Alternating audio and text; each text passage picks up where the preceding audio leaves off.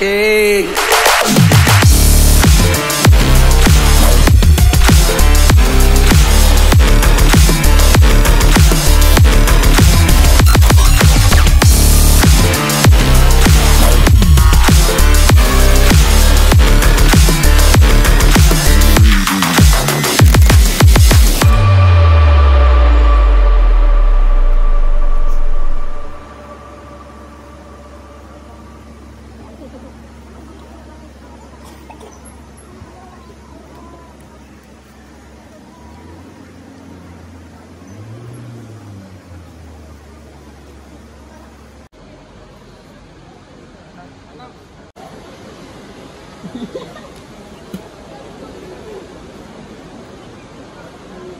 Anna, so you are seeing Sadhguru after such a long time. How are you feeling about it?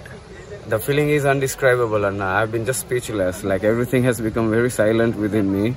Yeah. I'm just seeking for one glimpse of him. That's Yeah. all, Anna.